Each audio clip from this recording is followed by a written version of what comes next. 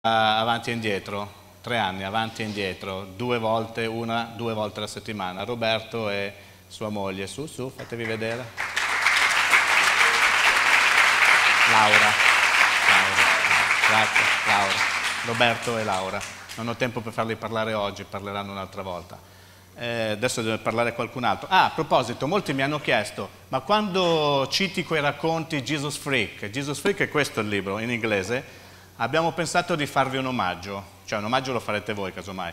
Allora, abbiamo tradotto 100 pagine, quelle che erano più eh, attuali, dobbiamo fare fotocopie, rilegare tutto, siccome c'è un costo, chiediamo un'offerta di 5 euro per chi lo volesse, lo prenota in libreria, 5 euro, Massimo ha fatto la traduzione, è un po' di mesi che ci lavora, e sono state tradotte 100 pagine in italiano, non in un'altra lingua, in italiano. Quindi chi lo volesse, in coppia, sono 100 pagine, verrà rilegato con tutta una cosa, un lavoretto fatto bene, dovete prenotarlo con un'offerta di 5 euro per le spese di produzione, proprio spese vive. Di che cosa parla? Sono tutte testimonianze di martiri del, del nostro secolo. Eh, eh, qualcosa avete sentito quando cito no, i racconti di quelli che sono rimasti fermi nella fede, sono stati torturati, sono stati massacrati, sono stati uccisi, ma non hanno rinnegato il nome di Gesù. Vi posso garantire che è molto incoraggiante quando siamo un po' depressi, quando siamo dubbiosi, quando non abbiamo voglia di servire, quando abbiamo... Eh, leggiamo un racconto di questi e vediamo che ci rimettiamo subito in pista perché chi siamo noi di fronte a questi ragazzi per lo più, ragazzi, giovani, che hanno dato la vita per Gesù.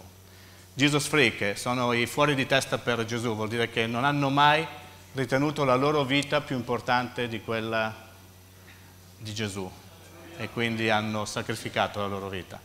Eh, sarà a disposizione, è finito, bisogna iniziare a fare le stampe per chi lo volesse, ok? Ok, sabato c'è un evento.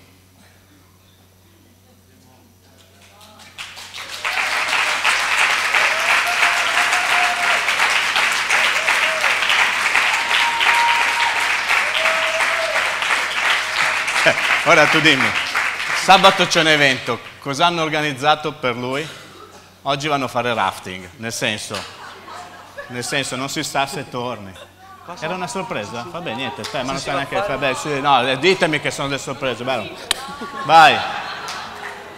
Vai, dopo ti portano fuori a cena, vai. Di qualcosa. Eh, sono emozionatissimo. Anch'io. L'uomo gaff. Ah, ehm, voglio innanzitutto ringraziare Dio per eh, tutto quello che ha fatto nella nostra vita. E chi ci conosce bene sa come, come siamo arrivati, quello che abbiamo passato, eh, però il piano di Dio è stato perfetto nella, nella nostra vita e quindi tutte le persone magari che è più giovane ne, nella fede che aspetta de, delle risposte confidate in Dio perché al momento opportuno opererà. Grazie a tutti, chi ci è stato vicino, la cerimonia ovviamente è aperta a tutti, poi solo alle ore 16, soltanto per eh, problemi economici non abbiamo potuto invitare tutti, ma eh, avremmo voluto. Vi faccio vedere come lui in questo momento. Ciao. Dio vi benedica.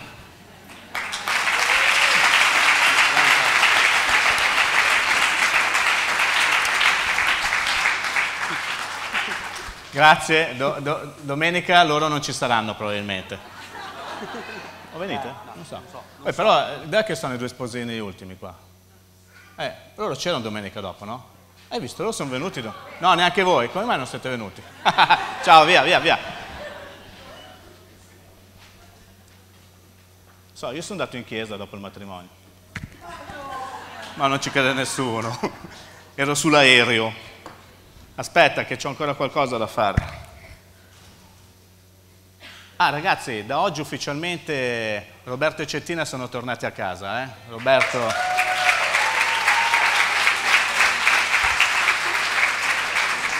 Siccome ha detto torno a casa prima io, ho lasciato Cettina a pulire, quindi ottimo, ottimo.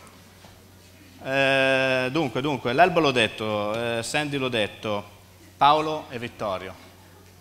Paolo e Vittorio, qui da me. Stiamo per fare una cosa sacra, non sto scherzando. Stiamo facendo un passaggio di consegne. E vieni su, ce la fai, ti do una mano. Dovrebbe essere responsabile dei giovani,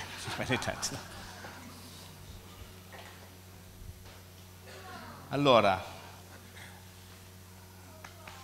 ci sarà un avvicendamento nei giovani, eh, Vittorio si occuperà di altro, siccome è cresciuto in questo periodo. si è preoccupato di crescere.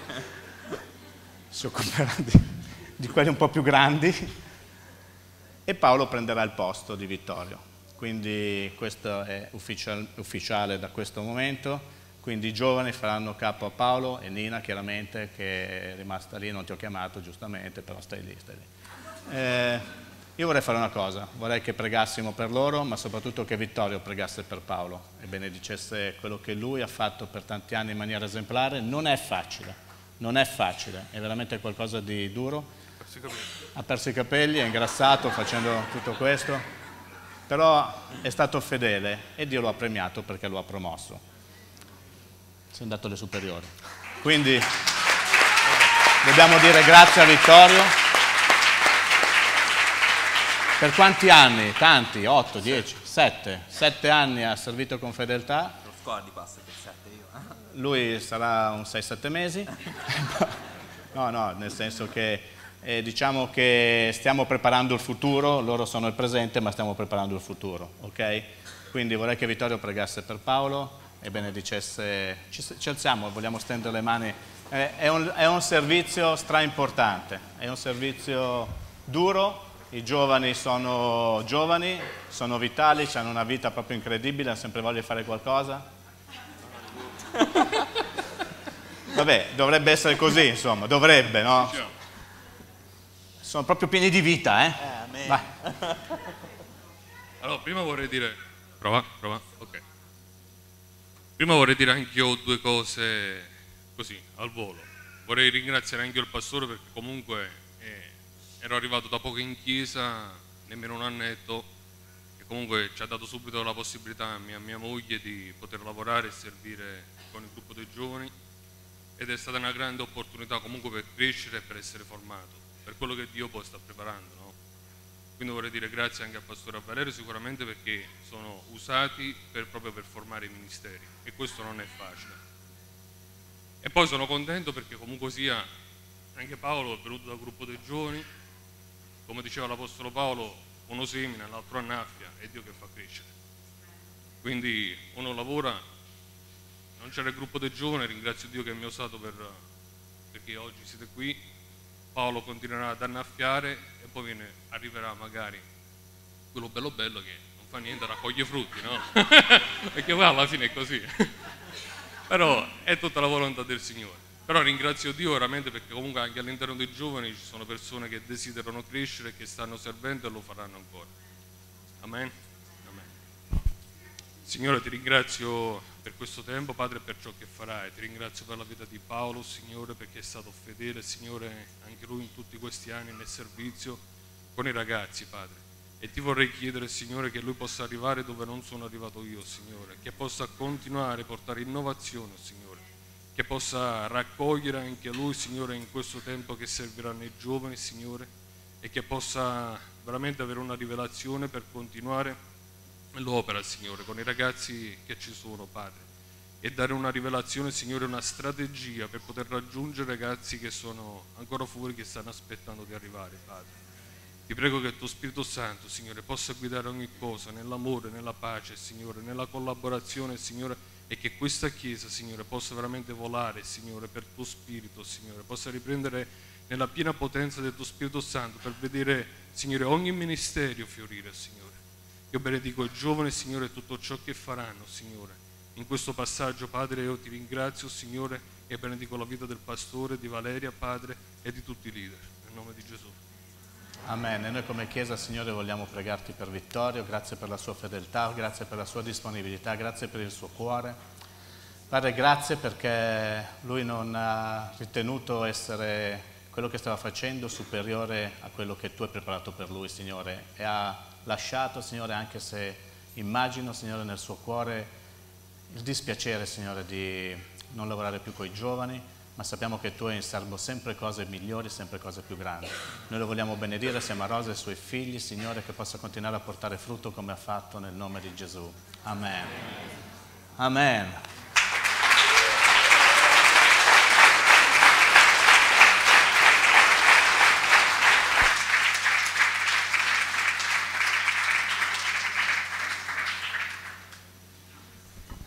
Volevo dire, ce l'ho nel cuore.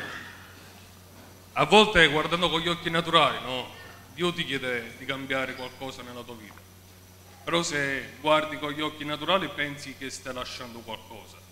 Ma quando veramente c'è il cuore per Dio no? e, e guardi dalla prospettiva di Dio, allora ti accorgi che non stai lasciando qualcosa. Dio ti sta portando ad una rivelazione più alta di quella che è la sua presenza, di quella che è la sua chiamata per la tua vita. Questo è un incoraggiamento che voglio lasciare a tutti, giovani e non giovani, perché magari Dio ti chiederà cambiamento nella vita oppure di lasciare quello che hai, ma non perché ti vuole parcheggiare, ma perché ti vuole portare una rivelazione più alta. Amen. Dio benedica. Amen. Grazie.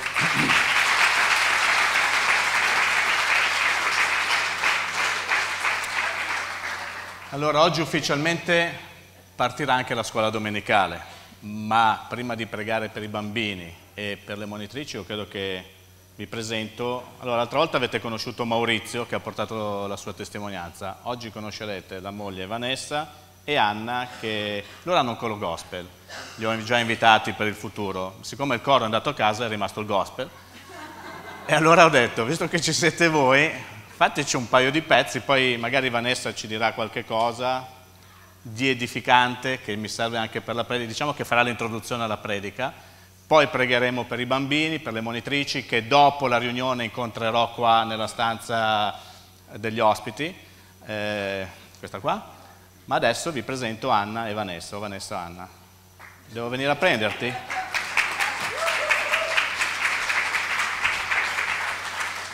Senti, le parole non ti mancano, vai. Mi, mi assetto.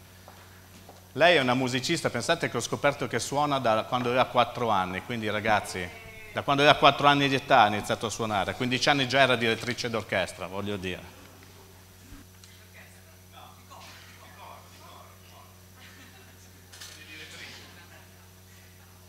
Non ce l'hai, dovrebbe essere là.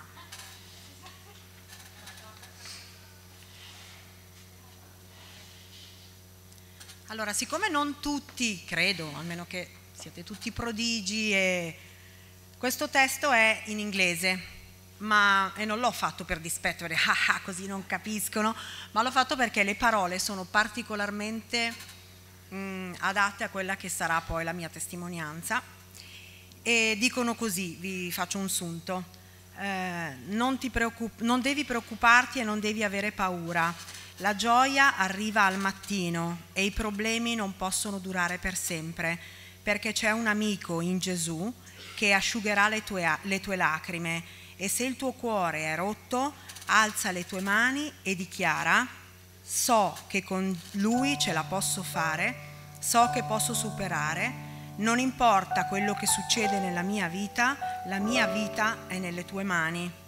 Gesù può, eh, con Gesù io posso vincere, eh, la mia vita è nelle sue mani e anche quando i, le prove e i problemi sembrano abbattermi e tutte le persone che noi amiamo sembrano sparire, eh, ricordati che hai un amico in Gesù e che asciugherà le tue lacrime e se il tuo cuore è rotto, eh, alza le tue mani e di so che posso farcela.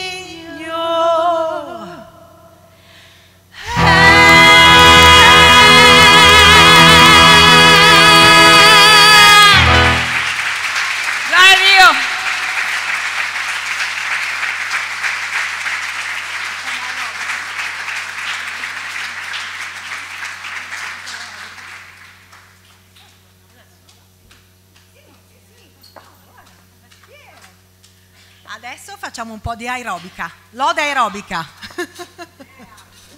Anche noi sacrifichiamo la nostra vita per Cristo, mm. perché alla fine il pastore ci mette. è una sorpresa, è una sorpresa. No, non cado. Non...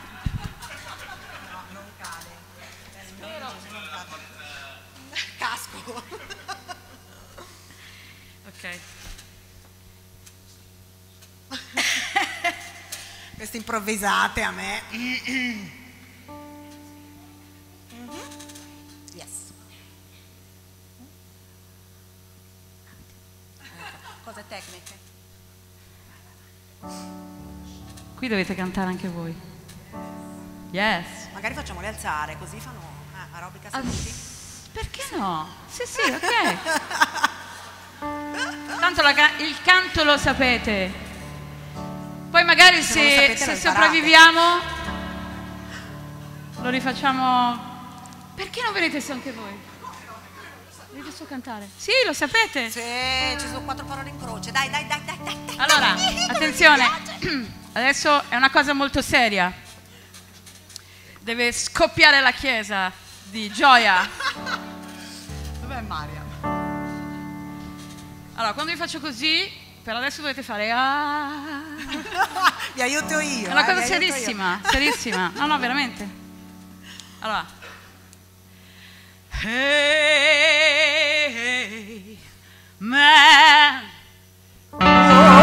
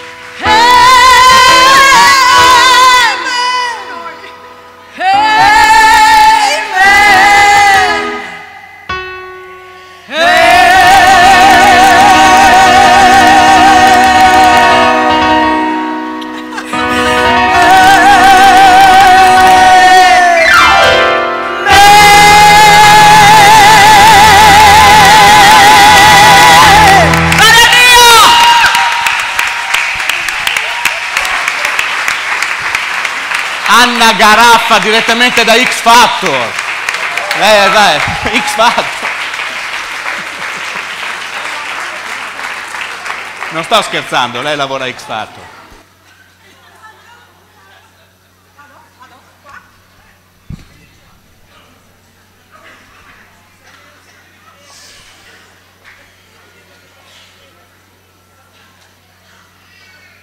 Attenzione per favore, Allora, è l'introduzione alla predica. è sempre un momento molto emozionante per me. Perché quello che sto condividendo con voi è qualcosa che non è successo molto tempo fa e quindi è ancora qualcosa che mm, tocca le corde del mio cuore perché riguarda una parte molto delicata della mia vita. E mm, nel mese di maggio mio papà si è ammalato e esattamente il 15 di maggio è entrato in coma. E quel giorno io non stavo molto bene, eh, quindi ho chiamato mia mamma per dire che non sarei andata in ospedale da mio padre perché volevo andare all'ospedale, ero certa di avere una colica renale in corso e quindi ho chiamato mia mamma, ma quando ho chiamato mia mamma, mia mamma mi ha risposto piangendo dicendomi no devi venire, papà è entrato in coma e quindi io chiaramente per amore ho messo da parte la mia sofferenza e sono andata in ospedale. Per farla breve, per i successivi 15 giorni mio papà è stato, si è aggravato sempre di più eh, io continuavo ad avere questi forti dolori, ma ho continuamente messo da parte la mia sofferenza per godere gli ultimi istanti con mio papà. E, um, il giorno del funerale di mio papà stavo malissimo, era un venerdì, ho preso tutti i farmaci, oltre al fatto che chiaramente sono finita in ospedale tre volte. E tre volte mi hanno fatto una diagnosi sbagliata, mi hanno riempito di farmaci dicendomi che erano coliche renale, che poi erano occlusione intestinale. E ovviamente mi sono fidata dei medici, sono andata avanti con la, la terapia che mi avevano dato, fino a quando il lunedì successivo al funerale di mio papà sono andata in ufficio e in ufficio ho sentito un, che il dolore stava cambiando, stava degenerando quindi quando ho timbrato il mio cartellino alle 12.30 mi sono messa in macchina e ho davvero faticato a guidare per arrivare a casa. Ho pregato, ho detto Signore mi sento male, accompagnami a casa. E quando ho varcato la, la porta di casa c'era mio marito e mi, sono, mi hanno ceduto le gambe, mi sono buttata per terra, ho detto a mio marito io mi sento male, devi portarmi subito pronto soccorso perché io sto morendo chiaramente non è una bella dichiarazione da fare per chi conosce Dio e lui mi ha un po' sgridato, mi ha detto non dire queste cose, ma io sentivo che il mio dolore era arrivato a un punto dove non poteva andare oltre, oltre c'era soltanto la morte. E quindi durante tutto il tragitto lui pregava e, e pregavamo insieme. Quando sono arrivata al pronto soccorso, nel tragitto ho avvisato il medico, il primario che conosco, gli ho detto dottore io sto malissimo. Lui mi ha detto appena arrivi in ospedale fai il mio nome, ti fanno passare, scendo e ti visito. Lì veramente ho visto la, i favori divini, quando si dicono che i figli di Dio godono di favori divini, perché davvero quest'uomo è un medico come tanti altri, e pazienti come me ne avrà centinaia, ma quel giorno è stato l'angelo che Dio ha usato per aprirmi porte in modo soprannaturale. Quindi sono arrivata al pronto soccorso e ho detto sono una paziente del professor Foschi, è veramente porte aperte, eh, fate entrare la signora, io l'ho piegata dal dolore. E il medico che mi ha accolto, che non era il primario, mi ha detto eh, chi sarà mai lei che dobbiamo disturbare il primario? E io volevo dirgli, insomma guardi veramente sono una figlia di Dio, mio papà è il re dei re, quindi insomma primario è solo un poverino in realtà, ma non potevo, non mi sarei buttata la zappa sui piedi. E quindi gli ho detto, guardi, glielo spiegherà il professore, lei lo chiami. E nel momento in cui ha alzato il telefono, ha detto, professor Foschi, mi spiace disturbarla. Lui dall'altra parte ha detto, sto arrivando. E la signora Lopopo, arrivo. Quindi 30 nanosecondi è arrivato questo medico, ha letto tutti i referti dei tre ricoveri precedenti delle accettazioni del pronto soccorso e um, lui ha avuto un sospetto che avessi una pancreatite, quindi ha ordinato di portarmi immediatamente nella sala TAC e di farmi un attacco col mezzo di contrasto. Eh, premetto che nel frattempo mio marito era, mi aveva lasciato all'ospedale dicendo ti faranno la solita flebo delle tre volte precedenti, io ti parcheggio qua, vado a prendere i bambini a scuola, poi tu torno e, e ti porto a casa. Purtroppo non è andata così questa volta perché mentre ero sotto l'attacco ho capito che c'era qualcosa che non andava, i medici incominciavano a correre di qua e di là, telefonate, consulti, si sono chiusi in una stanza, ho sentito un elicottero che arrivava, ho detto ecco adesso arriva l'emergenza, mi mollano qui, freddo, io avevo la febbre altissima. E invece a un certo punto è venuto il medico e mi ha detto mm, purtroppo il tuo quadro clinico è devastante, è molto severo, hai una trombosi addominale con un'ischemia intestinale e la tua vena porta, ve lo dico brevemente, è la vena che porta il sangue dal cuore a tutti gli organi vitali. La mia vena era completamente occlusa. Certo aveva peggiorato il fatto che io per 15 giorni, come la donna bionica, avessi sopportato tutto il dolore. Se fossi andata subito magari avrei fatto bene, però Dio non è mai in ritardo comunque. E quindi mh, si è consultato con un medico, eh, un chirurgo, e gli ha detto guarda se apriamo questa donna adesso la vena è talmente trombizzata che letteralmente ci scoppia in faccia e questa donna muore. E gli ho detto no guardi non voglio andare in sala operatoria, sono da sola, non vorrei morire da sola, aspettiamo mio marito.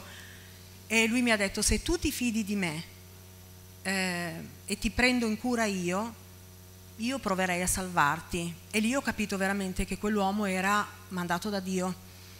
Quindi mi ha spostato il reparto, mi hanno fatto terapie d'urto, mh, mm, dolore, premetto che veramente il dolore era, ho quattro figli, li rifarei tutti e quattro uno in seguito all'altro pur di non risopportare il dolore di una trombosi.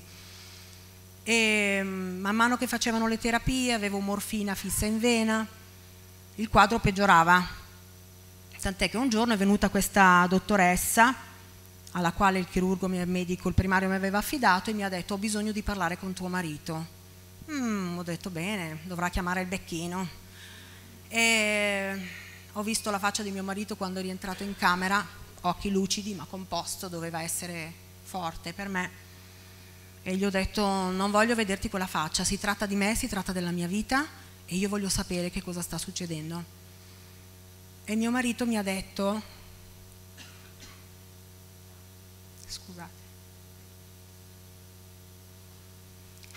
che la diagnosi era che se fossi sopravvissuta a quella trombosi avrebbero dovuto asportarmi l'intestino e avrei dovuto vivere tutta la vita con un sacchetto per raccogliere le feci. A quel punto la disperazione ha invaso la mia testa, il mio cuore, la mia anima, ma il mio spirito ha immediatamente rivolto il suo sguardo verso il cielo e ha detto Signore, se non sono morta di trombosi, di certo questo non è quello che tu hai preparato per me, e se il mio fisico parla così, tu sei più grande del mio fisico. Eh, I miei pastori erano in Sicilia in quel periodo a predicare e quando mio, i miei pastori hanno saputo questa cosa, ovviamente si sono molto agitati. E il, pastore, il mio pastore, il pastore Chiara, mi ha chiamato una mattina dicendomi: Appena ho saputo questa cosa, ho passato la notte piangendo e pregando per te. Lo Spirito Santo mi ha dato un versetto. Si trova nel Salmo 27, al versetto 3. Ve lo riassumo brevemente: dice: Anche quando i tuoi nemici ti assaliranno per divorare la tua carne, essi stessi saranno confusi.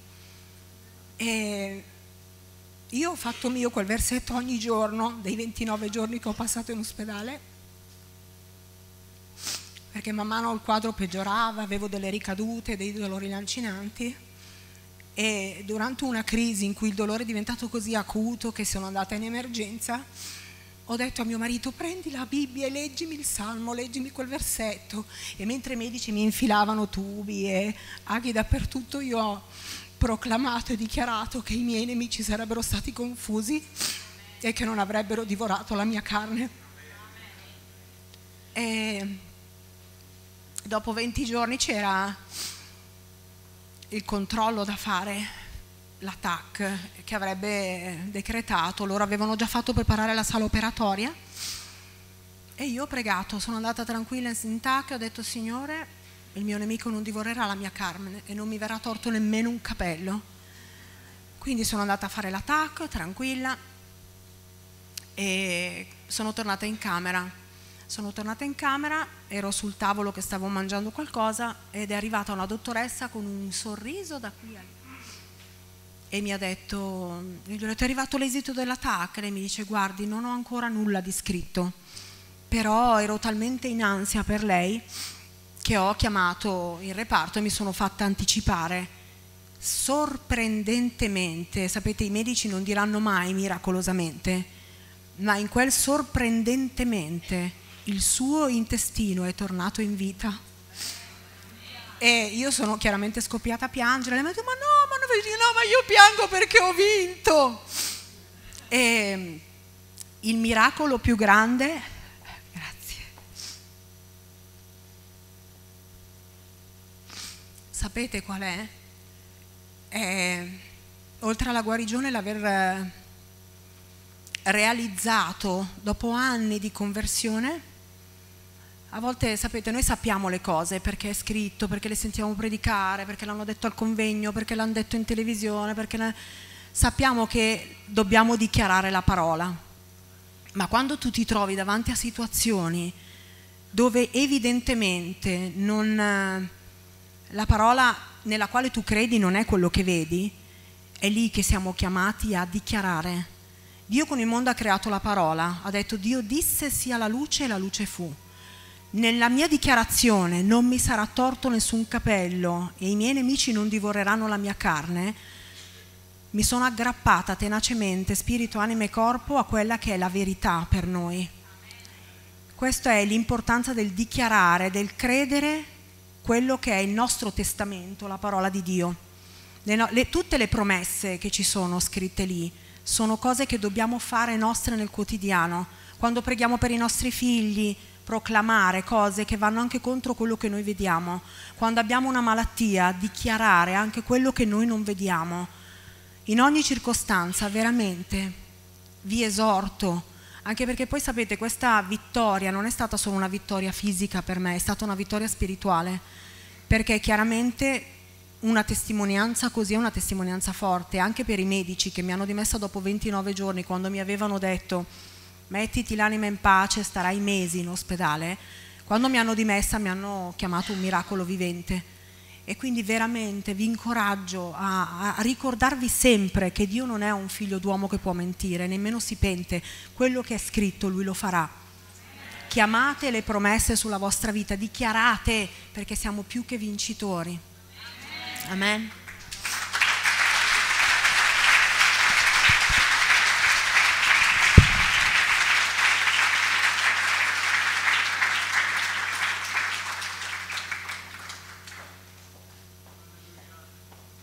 Siccome il titolo del messaggio è Dio vuole farci del bene, credevo che questo poteva essere un buon, una buona introduzione. Vi ho detto che questa è una coppia che potrebbe raccontare miracoli, eh, li inviterò ancora perché vorrò dargli più spazio, ma veramente avete sentito come è stato miracolato Maurizio, che è uscito dalla tossicodipendenza più dura senza aiuto di nessun uomo e questo di Vanessa è una cosa recente, mentre stava seppellendo il papà, insomma, cose tremende. E avete sentito due, due, cosine, però credo che sentire ci incoraggia, no? Ci incoraggia. I bambini, anche i bambini sono miracolati, che hanno delle monitrici straordinarie.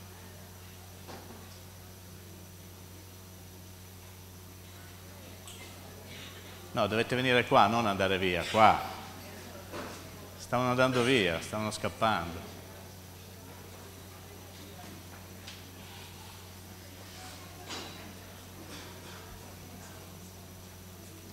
Tu stai piangendo. Bravo.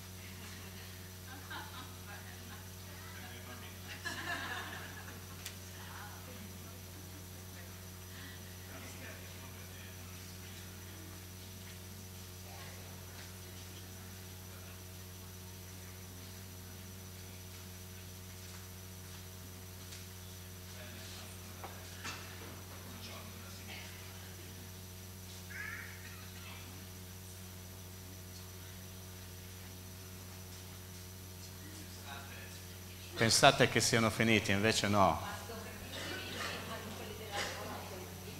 Quelli del questi, sì, gli altri prossimo, il prossimo anno, quando crescono. Wow, che meraviglia, eh? Facciamo un applauso a questi bimbi che sono... Che meraviglia. Eh, il capo vi vuole di là, il capo, il capo vi vuole di là, il capo, cioè di là non ci state però. Vabbè, fermi tutti, ok, vogliamo alzarci, vogliamo pregare perché la scuola domenicale ufficialmente inizia Sarà un anno impegnativo, un anno intenso in cui le monitrici saranno provate duramente. Noi vogliamo pregare che i bambini possano apprendere quello che verrà loro insegnato, che possano stare tranquilli e di dare pazienza, sapienza alle monitrici. Amen. Vogliamo stendere le nostre mani. Padre, ti diciamo grazie per questo inizio. Sappiamo che non è facile, Signore, per le monitrici, perché i bambini sono vivaci, per i bambini sono il tuo tesoro, sono il tuo dono. Noi vogliamo benedire ogni monitrice che, e ogni monitore che si occuperà di loro, Signore, che insegnerà loro la tua parola in maniera giocosa, Signore, ma vogliamo benedire i bambini che possono essere tranquilli, sereni, che possono stare bene, che possono veramente continuare a crescere nelle tue vie, Signore. Diamo loro ogni cosa finché un giorno ti potranno servire, Signore. Noi vogliamo profetizzare fin d'ora che questi bimbi saranno tuoi servi nel nome di Gesù noi li vogliamo benedire affinché tu li possa proteggere, Signore, e possa farli crescere nelle tue vie. Grazie, Padre, nel nome di Gesù, per questo nuovo inizio e per la vittoria finale. Amen. Amen. Vuoi dire qualcosa? Subito, appena finisce il culto, nella stanza degli ospiti, monitrice monitori con me. Amen. Vai. Via. Grazie. Accomodatevi. Vanessa, come stai? Meglio? Quando finisce la scuola domenicale starai bene. Amen.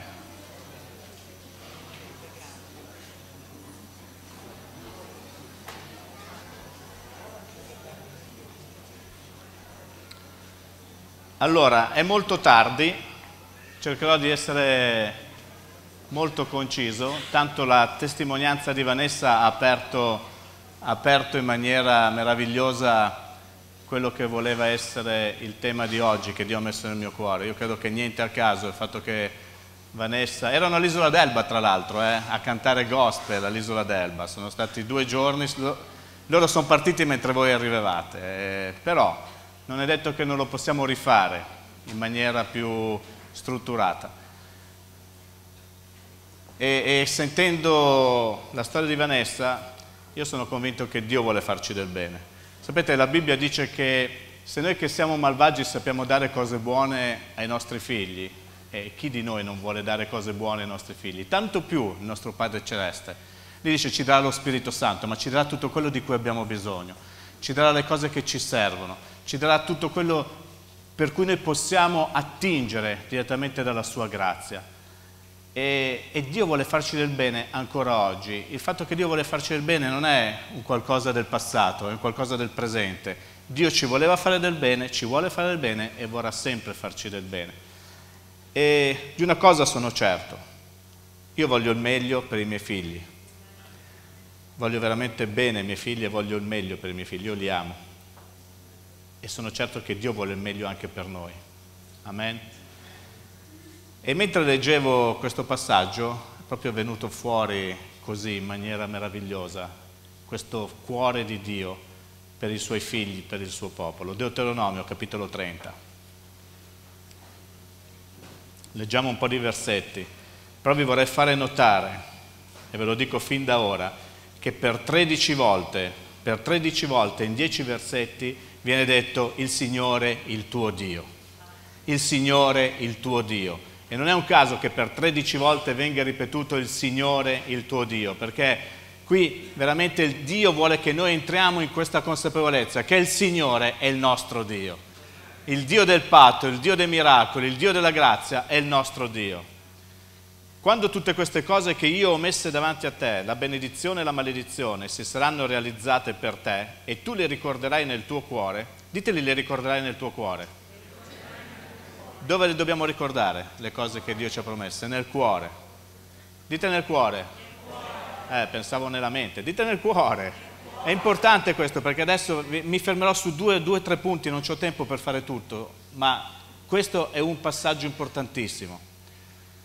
Dovunque il Signore il tuo Dio ti avrà sospinto in mezzo alle nazioni, ti convertirai al Signore il tuo Dio e ubbidirai alla sua voce, tu e i tuoi figli, con tutto il tuo cuore, con tutta l'anima tua, secondo tutto ciò che oggi io ti comando. Il Signore il tuo Dio farà ritornare i tuoi dalla schiavitù, avrà pietà di te e ti raccoglierà di nuovo fra tutti i popoli, fra i quali il Signore il tuo Dio ti avrà disperso. Quando anche i tuoi esoli fossero all'estremità dei cieli, di là il Signore il tuo Dio ti raccoglierà e di là ti prenderà. Il Signore il tuo Dio ti ricondurrà nel paese che i tuoi padri avevano posseduto e tu lo possederai. Ed egli ti farà del bene e ti moltiplicherà più dei tuoi padri. Il Signore il tuo Dio circonciderà il tuo cuore e il cuore dei tuoi discendenti affinché tu ami il Signore il tuo Dio con tutto il tuo cuore, con tutta l'anima tua e così tu viva. Il Signore il tuo Dio farà cadere tutte queste maledizioni sui tuoi nemici e su tutti quelli che ti avranno odiato e perseguitato. Tu ritornerai e ubbidirai alla voce del Signore, metterai in pratica tutti questi comandamenti che oggi ti do e ubbidirai alla voce del Signore tuo Dio. Il tuo Dio ti colmerà di beni, moltiplicherà tutta l'opera delle tue mani, il frutto del tuo seno, il frutto del tuo bestiame, il frutto della tua terra.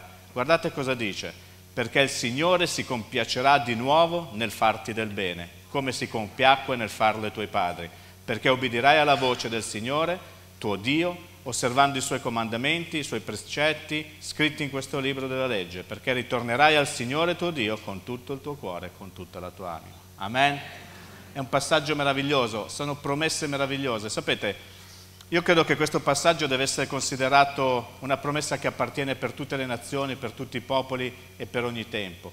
E credo che lo scopo di questo passaggio è quello di ricordarci e di assicurarci che tutti coloro che tornano a Lui, che tutti coloro che ancora oggi si pentono, si ravvedono e tornano a Lui con un cuore sincero, Lui li riaccoglie perché il Signore, il nostro Dio, è un Dio d'amore, un Dio di patto. Amen. E quindi questo è lo scopo del patto basato sulla grazia, quello di perdonare e riaccettare tutti coloro che tornano a Lui. Vedete, perché vi ho fatto dire ti ricorderai nel tuo cuore? La Bibbia cosa dice? Che con il cuore si crede e con la bocca si fa confessione. È nel cuore che risiede la vera fede, è nel cuore che risiede il fatto di credere veramente.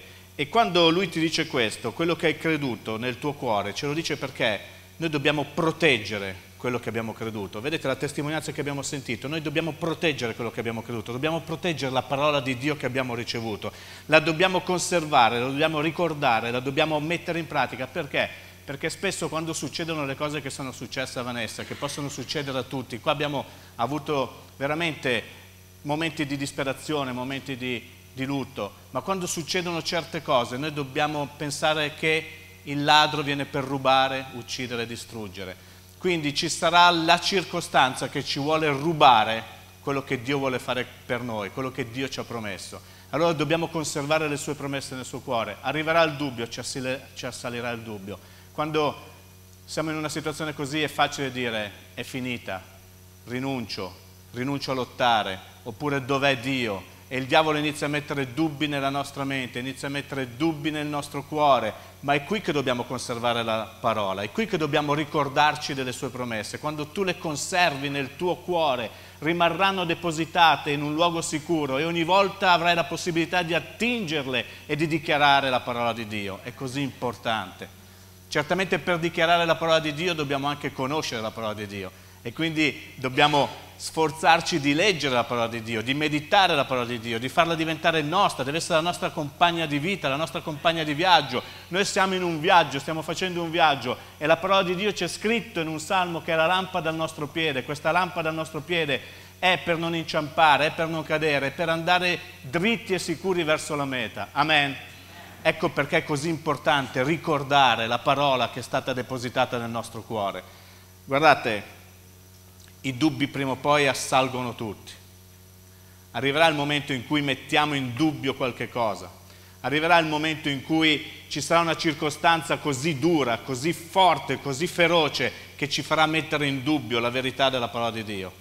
Ed è per quello che dobbiamo custodire, le ricorderai nel tuo cuore. C'è scritto dovunque andrai, dovunque sarai, tu potrai pregare perché tu hai la parola di Dio depositata nel tuo cuore. Sapete, nella mente ci sono le battaglie. Se noi pensiamo di avere la parola di Dio nella mente, allora spesso ce la dimenticheremo. Perché? Perché le battaglie arrivano nella mente, perché la mente è presa da mille pensieri, è presa dall'agitazione della quotidianità, ma nel nostro cuore invece è depositata la verità. Perché? Perché nel nostro cuore è la sede dove c'è veramente il nostro anima e il nostro spirito che possono ricordare con fermezza. Avete sentito, Vanessa stava male, il corpo non rispondeva più, ma il suo spirito aveva una certezza. Questa parola che io ho ricevuto è quella che mi farà del bene. Avere la parola e ricordare la parola, dove la dobbiamo ricordare? Nel nostro cuore. Questo è il consiglio che, che Dio sta dando attraverso Mosè al suo popolo. Dice dovunque il Signore il tuo Dio ti avrà sospinto in mezzo alle nazioni, ti convertirai al Signore tuo Dio e obbederai alla sua voce, tu e i tuoi figli, con tutto il tuo cuore, con tutta l'anima tua, secondo tutto ciò che io ti comando. Il Signore tuo Dio farà miracoli per te, ti farà ritornare, ti darà i bisogni del tuo cuore, ti darà quello di cui ti serve. Certamente ci sono delle condizioni, certamente non possiamo non vedere quello che sta dicendo.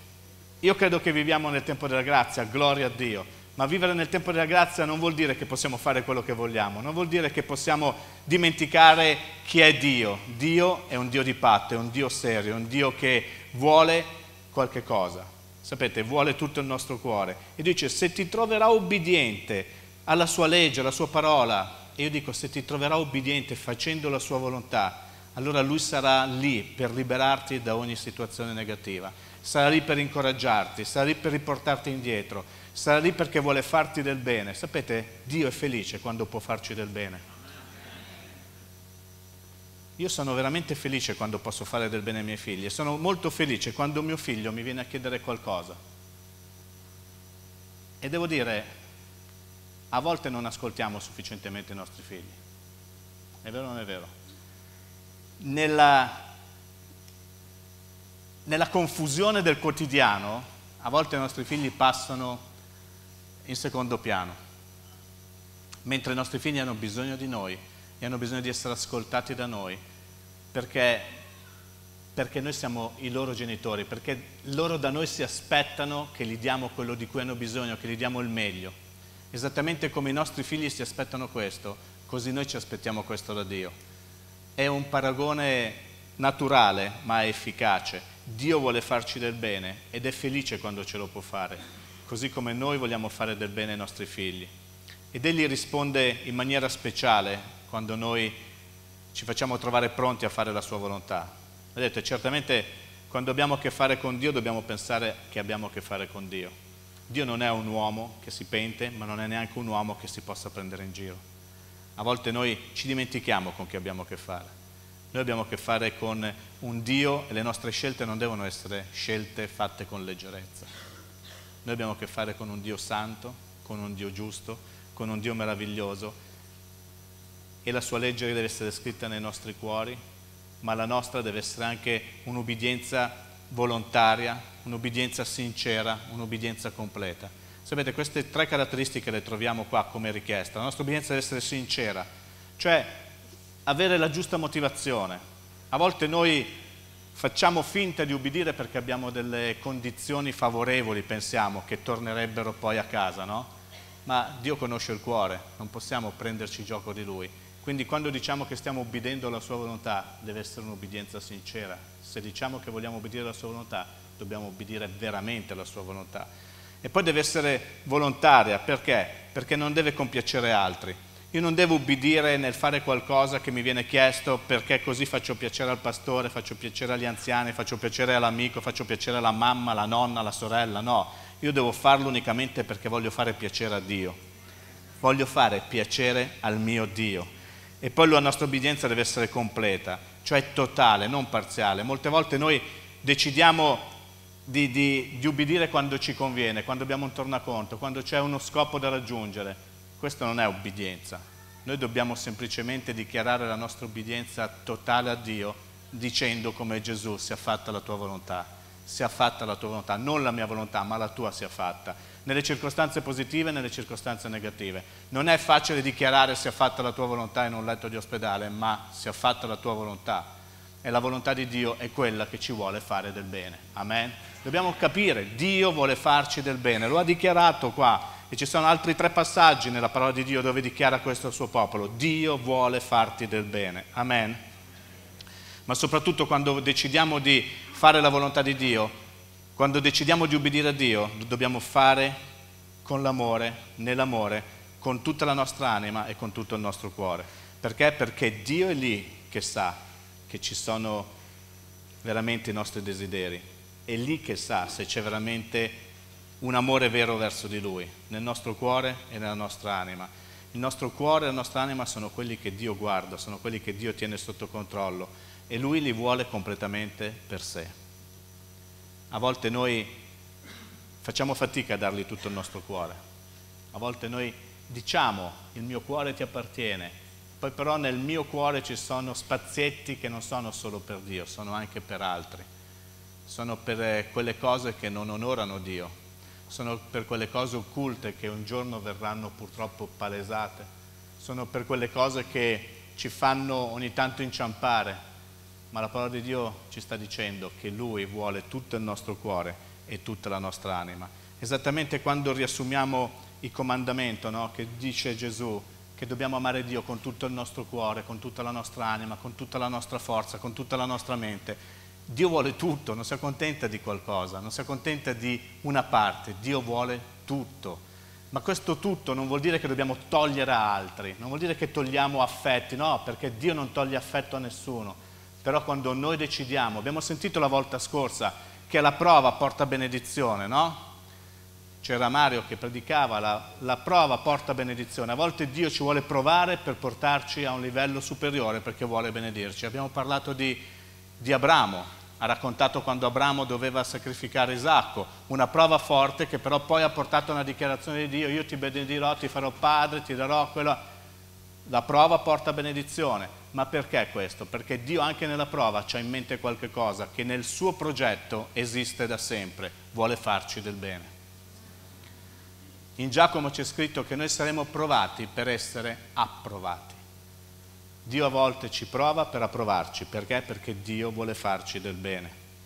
E sapete, Dio promette al suo popolo in questo passaggio che dovunque andranno, ovunque saranno, nelle difficoltà, nelle preghiere, loro potranno raggiungere Dio, il loro Dio, perché l'orecchio di Dio è attento e troveranno sempre il suo favore. Sapete che questa parola, esattamente come è avvenuto per Vanessa, è stata usata da Nemia in un momento di difficoltà. Lui ha preso questa parola e l'ha usata. In Neemia 1.8 c'è scritto, ricordati della parola che ordinaste al tuo servo Mosè. Quindi Neemia sta discutendo e dice, Dio, ricordati di quello, sta dicendo, Dio, ricordati tu di quello che hai dichiarato. Ricordati della parola che ordinaste al tuo servo Mosè di pronunciare. Se sarete infedeli io vi disperderò fra i popoli, ma se tornerete a me e osserverete i miei comandamenti e li metterete in pratica, anche se sarete dispersi negli estremi confini del mondo, io di là vi raccoglierò e vi ricondurrò al luogo che ho scelto per farne la dimora del mio nome. Qua Neemia ci sta insegnando quello che abbiamo sentito oggi. Prendiamo la parola di Dio e dichiariamola e usiamola quando siamo nei momenti di difficoltà. Amen. Perché Dio sta dicendo questo? Per il nostro bene. Sia nel verso 5 che nel verso 9 dice Dio vuole farti del bene e si compiace nel farlo. Il verbo compiacere è prendere soddisfazione, è gioire, è trovare veramente piacere, gioia nel fare qualcosa. Io mi compiaccio quando posso predicare la parola di Dio sotto ispirazione perché so che sto facendo qualcosa di buono. Compiacere, fare le cose per fare del bene. E vedete, quello che vi ho detto prima, se voi leggete Deuteronomio 29, troverete che lì Mosè usa sempre la parola Signore. Non il Signore il tuo Dio, usa la parola Signore. E lì sta proprio a indicare e indica un Dio, un Dio di giudizio, un Dio giusto, un Dio che giudica tutto in maniera giusta. Poi improvvisamente nel capitolo 30 inizia a aggiungere il tuo Dio, il Signore il tuo Dio per 13 volte, in 10 versetti, dice il Signore il tuo Dio. Perché? Perché ci sta ricordando proprio questo, che il Signore è il nostro Dio, è il Dio del patto che ci vuole fare del bene. È il Dio che ci vuole fare del bene, non è per noi il Dio giudice che vuole giudicarci, è il Dio del patto che vuole farci del bene. Hai visto com'è cambiata la cosa? È il Dio giudice prima, ma una volta che noi abbiamo conosciuto Gesù, diventa il Dio del patto che vuole farci del bene. Una volta che noi siamo suo popolo, diventa il Dio del patto che vuole farci del bene. Il Signore, il tuo Dio, non è il Signore Dio di qualcun altro, è il tuo Dio è il Dio che si è fatto conoscere personalmente da noi, che si è fatto conoscere personalmente da te, è il Dio che ha pagato un prezzo affinché tu potessi rinascere, è il Dio che sta guidando i tuoi passi, è il Dio che ti sta dando le giuste motivazioni, è il Dio che ti sta spingendo verso una meta, è il Dio che ti sta guidando, è il Dio che ti sta soccorrendo, è il Dio che ti sta incoraggiando. Il Signore, il tuo Dio, ti vuole bene, ti ama e vuole farti del bene. Amen. Perché? Perché siamo suoi figli. Perché? Perché siamo speciali. Forse non ci siamo resi conto di quanto siamo speciali per il Signore. Forse non ci siamo resi conto di cosa ha pagato Dio per acquistarci. C'è scritto che ha pagato un prezzo altissimo. Il sangue di Gesù è servito per acquistare ognuno di noi, quindi noi siamo speciali. Dì alla persona a fianco, tu sei speciale per Dio. Voi siete speciali per Dio. Voi siete un popolo speciale, siete dei figli speciali, voi siete stati riscattati a caro prezzo, Dio ha pagato un prezzo altissimo, voi siete veramente la pupilla dei suoi occhi, voi siete speciali. Sapete, ci sono persone che non sanno di essere speciali, ci sono persone che vivono nella, eh, nell'insicurezza, ci sono persone che vivono nell'anonimato, ci sono persone che vivono veramente ne, nella depressione perché non sanno chi sono, non sanno di essere speciali. E non so se avete letto il calendario, c'era una storia qualche giorno fa, e, me la ricordo, e c'era questa ragazza che era piena di complessi, complessi di inferiorità. Non so se l'avete letta? Non leggete il calendario, ok. Daniela, ma che cosa li compri a fare? Vabbè, allora, questa ragazza era piena di complessi e non si sentiva per niente speciale. E questa tristezza era così evidente che un vecchietto a un certo punto gli ha detto compra quello specchio, sai quegli specchi da trucco, no? Compra quello specchio. E lei così ha, ha dato retta a questo vecchietto. E ogni volta che apriva lo specchio c'era una voce che diceva tu sei speciale, tu sei speciale, tu sei speciale. E questo le ha dato modo di prendere sicurezza, e questo le ha dato modo di avere una convinzione, ha iniziato a cambiare la sua vita, ha iniziato a atteggiarsi in un altro modo. Lei apriva lo specchio, questo specchio le diceva, si guardava, vedeva che era lei e diceva tu sei speciale tu sei speciale. Era una cosa meravigliosa, tu sei speciale. E lei ha iniziato a credere che era speciale, ha iniziato a comportarsi come una persona speciale, ha iniziato a vivere una vita speciale. Perché? Perché c'era uno specchietto che quando veniva aperto diceva tu sei speciale. È incredibile. Ma sapete cosa è successo? Un giorno lo specchietto le è caduto, si è rotto e non c'era più nessuno che le dicesse tu sei speciale. E lei tornò ad avere depressione, insicurezza, aveva perso fiducia in se stessa. Perché? Perché non c'era più uno specchio che le diceva che era speciale, una voce che le diceva che era speciale. Molte volte noi abbiamo bisogno di qualcuno a fianco che ci dica tu sei speciale. Ma sapete cosa c'è di più bello? Che un giorno trovò il calendarietto anche lei e trovò un foglietto che diceva così, io sono morto per te perché tu sei speciale, con amore Gesù io sono morto per te perché tu sei speciale, con amore Gesù. E improvvisamente questa, questa, ragazza scoppiò a piangere e si rese conto che la sua vita aveva molto valore, quantomeno aveva il valore di una vita più, ancora più preziosa, che era quella di Cristo. Perché? Perché Cristo era morto per lei. Allora si rese conto che era veramente speciale e iniziò a vivere come una persona speciale. Perché? Perché Dio aveva un piano per lei e aveva deciso di farle del bene, perché era una sua figlia. Il bene più grande che Dio ci ha fatto è quello di offrire Gesù sulla croce. Perché? Perché noi siamo speciali. Voi siete persone speciali. Perché? Perché Dio vi ha reso tali, perché Dio vi ama, perché siete figli di Dio, perché Gesù è morto per noi. Noi siamo persone speciali. Dio vuole farci del bene e non permetterà che noi dipendiamo da specchietti, da circostanze, dal parere di altri uomini, di altre persone. Molte volte noi pendiamo dalle labbra degli altri. Sapete, eh, mi è successo quando, quando sei un po' più giovane anche nel ministero, una volta, spesso lo dico, no? quando finivo di predicare, se qualcuno non mi veniva a dire complimenti pastore bella predica, andavo in depressione. Dicevo, si vede che ho fatto schifo, non gli è piaciuto a nessuno, nessuno che mi dice niente. Dico, caspita, è un bel problema. Poi improvvisamente ho capito che io non devo dipendere da, dalle circostanze, da, dalle persone che mi dicono complimenti pastore che bella predica. Io devo dipendere da Dio, io so che sto facendo quello che posso e sto dando il meglio che posso perché Dio è qui io non dipendo da, dalle persone, io dipendo da Dio. E io so che un giorno Dio mi dirà, ben fatto mio fedele servitore, sei stato fedele in poca cosa, ti costituirò sopra grandi cose. Io faccio la mia parte con onestà, Dio poi mi ricompenserà. Quindi non dobbiamo dipendere da specchietti, da persone, da circostanze, dobbiamo dipendere da Dio. È Dio che ci vuole fare del bene, è Dio che ci ha scelto, è Dio che ci ha messo in una posizione onorifica, è Dio che ci ha posto in un luogo dove possiamo servirlo e ognuno lo può servire come Dio ha stabilito. Non c'è niente di più bello che essere noi stessi e servirlo con naturalezza laddove Dio ci ha posto. Se ci ha messo a fare un lavoro, facciamolo con gioia, perché quello è il lavoro che Dio ci ha affidato.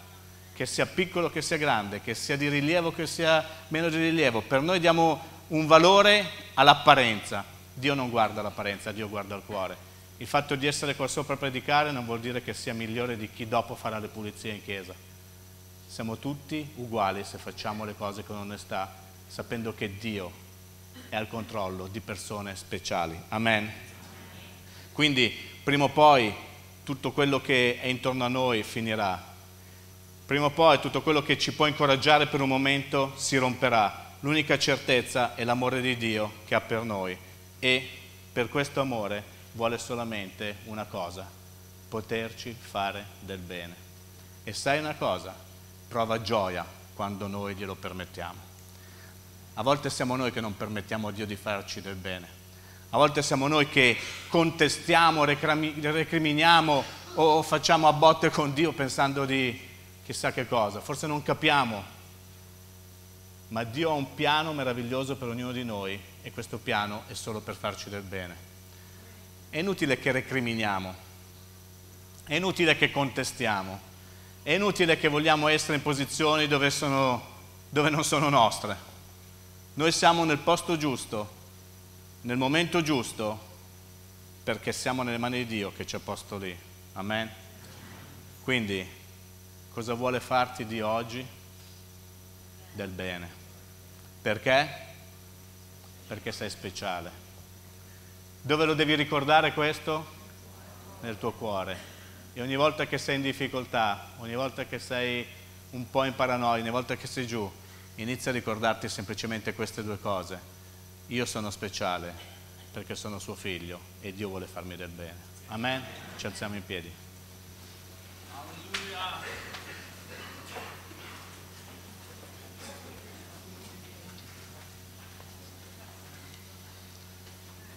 Io non voglio perdere molto tempo, però sento che è giusto chiedere se c'è qualcuno che, che non si sente poi così speciale, forse hai bisogno di un aiuto. Questo aiuto non ti arriverà da uno specchietto, non ti, arriverà da una persona che ti ripete tutte le volte tu sei speciale, questo aiuto ti può arrivare solo da Dio. Questo aiuto ti può arrivare solo dal cuore paterno di Dio, ti può arrivare solo dallo Spirito Santo. E tu sentirai questa voce che ti sussurrerà, io voglio farti del bene, permettimi di farti del bene. Perché? Perché tu sei speciale. Tu sei speciale. Allora se c'è qualcuno oggi che è triste, che non si sente amato da Dio, che non si sente capito da Dio, che sta avendo dubbi sull'amore di Dio, che sta avendo dubbi sul fatto di essere una persona speciale e che sta avendo soprattutto dubbi sul fatto che Dio vuole farti del bene, Insomma, se hai qualche dubbio oggi, vieni qui davanti. Vieni qui davanti, preghiamo insieme. Tu uscirai completamente, ma dico completamente, con un'altra certezza. Dio ti ama. Dio ti ama. Io so che ci sono diverse persone, non siete tante, grazie a Dio, però questa predica oggi è per voi, persone insicure che non hanno ancora compreso che Dio le ama. Persone insicure che non hanno ancora compreso che siete speciali. Una, due, forse siete quattro, cinque, sei, sette. Io, vieni, vieni, vieni, vieni. Tre, io, io ne ho contate sette. Dai, siete sette almeno. Sapete, non è che ho un dono di rivelazione, vedo dalla faccia. Eh. Siete lì con questo desiderio di dire adesso vado, adesso vado, adesso vado. Poi molti non li vedo, quindi non lo so, però almeno sette li ho viste. Adesso vado, adesso vado, sono quattro, altre tre. Dai, dai, vieni, vieni, non ti preoccupare, vieni. Vieni, vieni, vieni, vieni. Siamo su un bel barcone tutti assieme. Ognuno nel- nella nave fa qualcosa. C'è chi pulisce il ponte, c'è chi governa i motori e sapete c'è anche chi dirige. 1, 2, 3, 4, 5, 6, 7. Ui, sono 7. Incredibile, eh? Vabbè, se c'è qualcun altro può venire, non è che ci, ci limitiamo a loro. Però adesso noi vogliamo pregare per loro affinché escano di qua con una convinzione nuova. Voi non dipendete dalle circostanze, non dipendete da qualcuno che vi vuole fare sentire meglio. Voi dovete imparare a dipendere da Gesù Cristo che vi ama e ha dato se stesso per voi. Perché? Perché voi siete speciali. Perché? Perché vuole farvi del bene. Amen? Dite con me, Dio vuole farmi del bene. Adesso vi domando, quando? Ora. Quando? Ora. Adesso. In questo momento Dio vuole farvi del bene ora. Amen? Oh, che meraviglia. Se c'è qualcun altro si sente libero. Noi adoriamo Dio.